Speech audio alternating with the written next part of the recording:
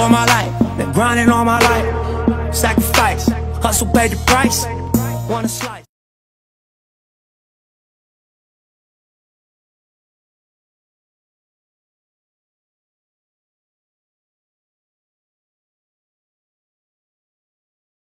The objective of the two ball ball handling drills is to get as many dribbles in as you can before you reach the opposite end of the court.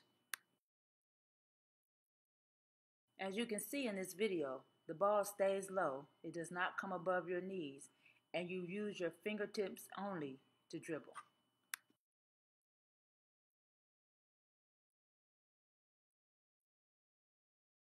If you are a more skilled ball handler, such as DeMarcus is, then each drill will be done coming backwards on the way back.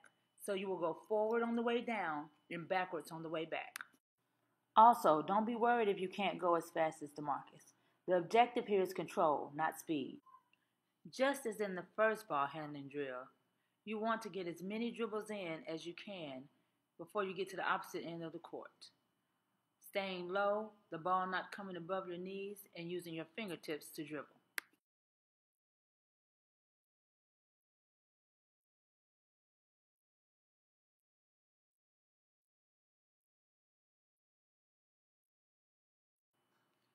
Remember, my advanced ball handlers, you're coming backwards on the way back. Also, for my beginners, you're going forward, but once again, it's about control and not about the speed. Next up, we have windshield wipers. Unlike the first two drills, in this drill, your feet are apart. Both hands are doing like an in and out dribble, changing hand position on the ball. By this point, your arms are getting tired. So, an extra challenge to my skilled ball handlers is if you bobble the ball or turn it over, start the drill over from the beginning, as you see DeMarcus do here.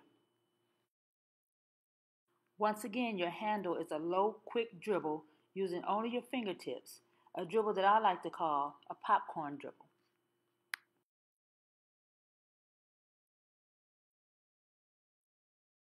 For my advanced ball handlers, there's a variation on the way back. Instead of the rocking side to side motion you were using going forward, coming backwards is almost like a hop as you shift your weight from one foot to the other.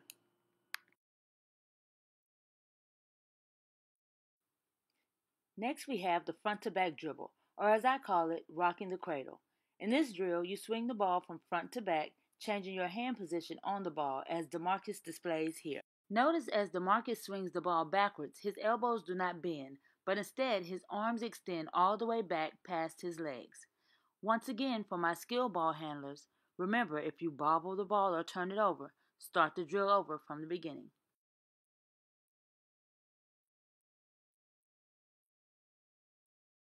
Key to being effective at this ball handling drill is to not just drop the ball on the floor expecting it to bounce back up to your hand, but to push the ball down in each direction so it bounces back to you at an angle.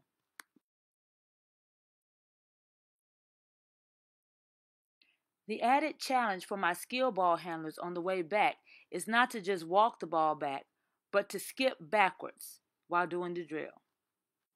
The next set of drills are the breakdown ball handling drills. These drills are meant to simulate game action by going from a relaxed dribble to an aggressive handle once the defense jumps you. The first breakdown drill is the double crossover. You go from a high relaxed crossover to a low breakdown crossover as if to take someone off the dribble. Notice how DeMarcus steps out to the side before actually crossing over on the breakdown handle.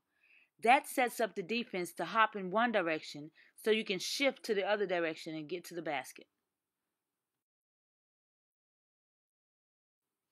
Your next breakdown move is a crossover with the between the leg dribble. This ball handling drill starts off with a double high crossover, but the breakdown move is a crossover between the leg.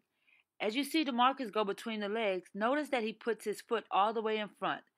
This is so that once you come out of your breakdown move, you're still making forward progression towards the basket and not dribbling side to side and have to make any adjustments.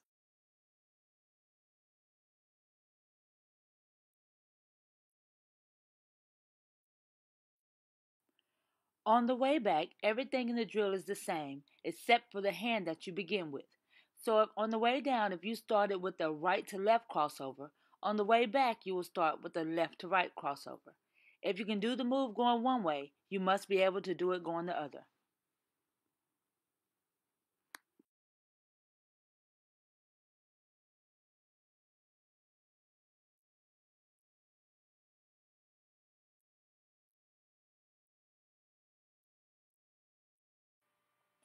Our next breakdown move is a between the leg dribble with a behind the back. Once again, we start with a high crossover. Our breakdown move is the between the leg dribble with the behind the back dribble. Notice on the breakdown move, your feet move forward on each part. Like I mentioned before, your foot should be all the way in front of you on the between the leg dribble. And when going behind the back, you shift your lead foot out front to continue your forward progression towards the basket.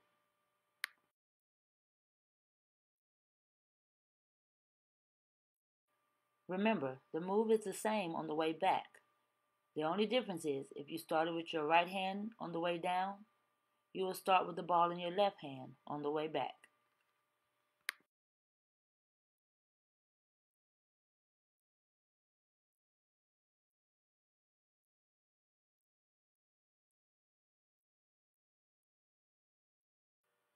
Our final breakdown move is a double behind the back dribble.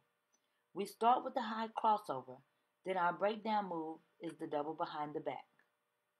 On the first behind the back move, you lean to the outside to get the defender to bite in that direction before coming back with the second behind the back.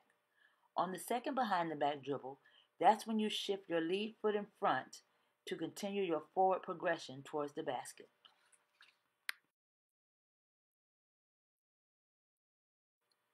Remember to change your lead hand on the way back. So if you started the drill with your right hand going down, you will start with the ball in your left hand on the way back.